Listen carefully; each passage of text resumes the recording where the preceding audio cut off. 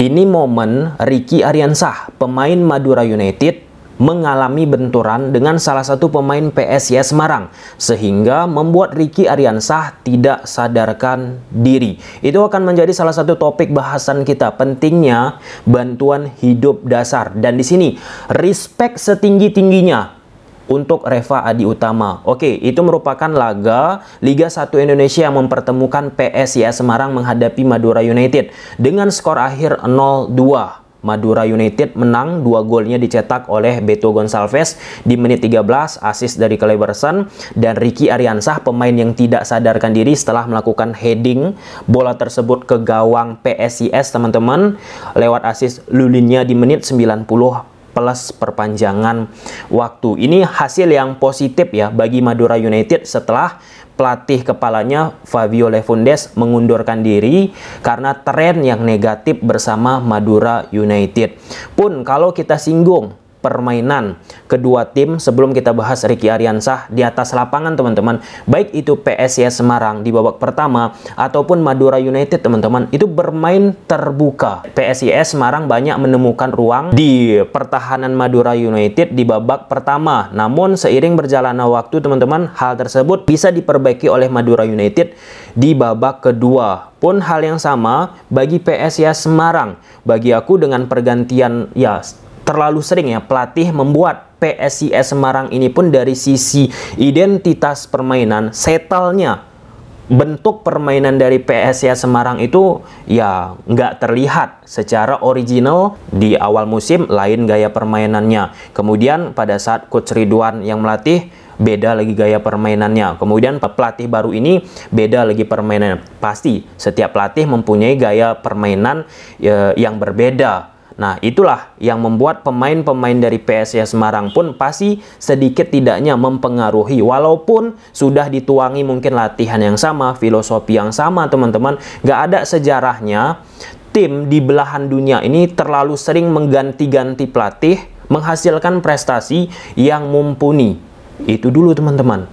Nah, kalaupun di laga ini PSIS Semarang kalah menghadapi Madura United, ya memang itu layak Madura United gaya permainannya kembali seperti bagi aku untuk laga ini ya. Kita kan nggak tahu Madura Madura United di laga-laga ke depannya harus perlu kekonsistenan. Tetapi untuk di laga ini Madura United bentuk permainannya hampir serupa seperti di awal-awal Liga 1 Indonesia. Dengan pola 4-3-3 nya dua defensive midfielder ada Julfiandi dan Liu Jun di depan satu attacking midfielder, Hugo di uh, tiga striker, Beto di sektor kiri lulinya, di kanan ada Rizaldi uh, Malik. Di awal-awal menit belum begitu rapi, tetapi setelah Beto Gonçalves menciptakan gol itu keren banget golnya. Pergerakan Beto Gonçalves, visi dan misi dari Cleberson bisa mengelabuhi offside trap yang coba diterapkan oleh PSIS Semarang Nah, satu gol itu buat Madura United semakin rapi, semakin rapi di babak kedua ketika tanpa bola gunakan shape 4-4-2, jarak antara lini belakang, lini tengah, dan lini depan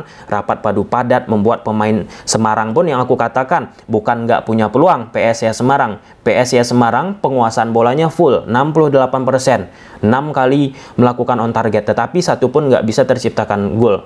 Tidak ada kekelinisan di depan gawang. Memang PSIS Semarang pun beberapa pemainnya nggak bisa uh, main di laga ini karena cedera itu pasti mempengaruhi apa yang ingin dimainkan oleh pelatih PSIS Semarang. Aku nggak tahu ya teman-teman setelah beberapa rentetan hasil negatif PSIS Semarang setelah mengganti beberapa pelatih juga apakah pelatih ini pun akan diganti lagi ya kita tunggu saja waktu. Tetapi kita kembali ke poinnya bahwa tidak ada klub ataupun jarang mungkin kita temui di dunia ini klub yang sering-sering mengganti pelatih dalam satu musim 2 3 4 5 6 7-8 pelatih bisa menghasilkan hasil yang positif. Teman-teman yang menonton video ini yang di SSB ataupun pemain-pemain amatir, pemain-pemain profesional, ganti-ganti pelatih kan nggak bagus untuk kekompakan daripada tim itu sendiri. Ya, tapi itu pun sebenarnya bisa diperdebatkan. Ya, ini udah langkah dari manajemen PSIS Semarang, ya tetap harus kita hargai dan mereka pun uh, manajemen PSIS Semarang pasti udah mengukur uh, hal tersebut dengan presisi dan detail. Nggak mungkin sembarangan. Nah, jadi objektif dan fair pandangan aku. Oke, ada salah satu kejadian di penghujung uh, laga teman-teman. Ricky Ariansah, pemain dari uh, Madura United menyambut bola crossing yang diberikan oleh Lulinya dari sektor kanan permainan dari Madura United dan bola tersebut berhasil uh, ya heading dan bolanya masuk ke gawang. Namun ada kaki dari pemain PSIS Semarang terkena dari area wajah ya sekitaran ataupun kepala dari uh, Ricky Ariansah dan membuat Ricky Ariansah pun tidak sadarkan diri. Nah, pada saat benturan itu sudah terjadi dan Ricky Ariansah tidak sadarkan diri akan aku tampilkan videonya teman-teman.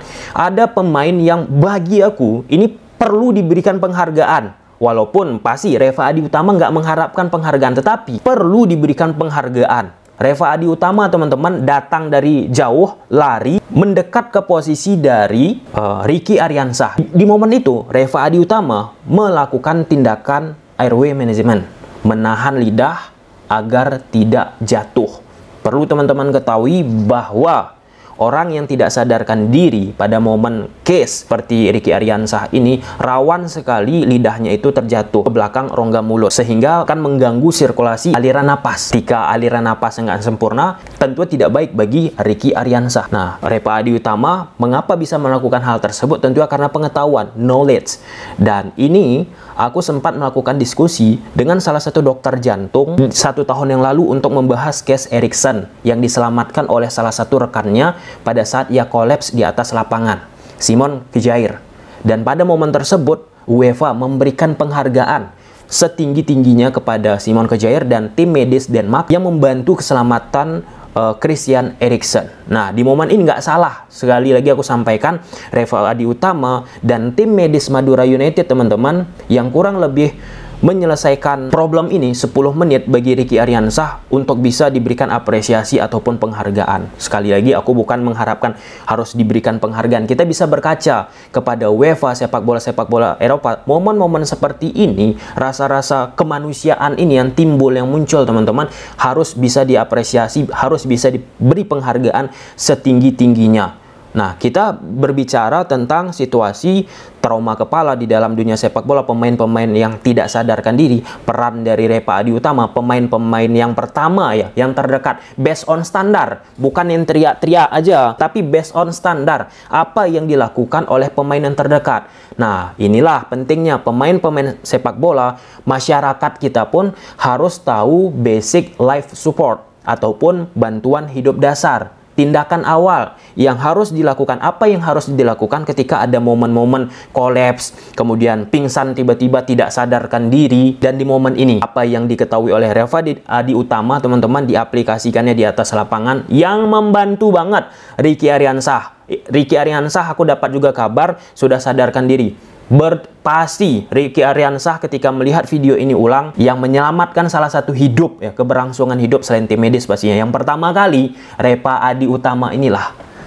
Kenapa aku selalu mengulang-ulangi Repa Adi Utama? Karena for your information bagi teman-teman yang belum mengetahui basic aku dari apa basic aku kebetulan menimba ilmu pendidikan kedokteran. Jadi tentang basic life support, bantuan hidup dasar, apa yang dilakukan oleh Repa Adi Utama ini, karena kita tahu punya knowledge ya teman-teman, jadi rasa apresiasi dari ilmu yang dipunyai oleh Repa Adi Utama ini, jadi rasa uh, kagum gitu. Kita berharap apa yang dilakukan oleh Repa Adi Utama ini banyak dicontoh oleh tim-tim lain yang ada di belahan dunia ini pemain-pemainnya terkhusus untuk Liga 1 Indonesia pun klub-klub kita terus juga melakukan ya workshop kepada pemain-pemain yang ada di klubnya agar tahu apa yang harus dilakukan di situasi misalnya dapat case seperti momen Ricky Ariansah ini. Biar terukur biar membantu pemain-pemain tersebut. Pun kalau misalnya ada omongan uh, Sumir yang menyebutkan terlalu lambat tim medis di laga ini bahkan ada aku lihat tadi pemain Madura United akhirnya membawa tabung oksigen. Aku nggak mau membahas dulu ke situnya.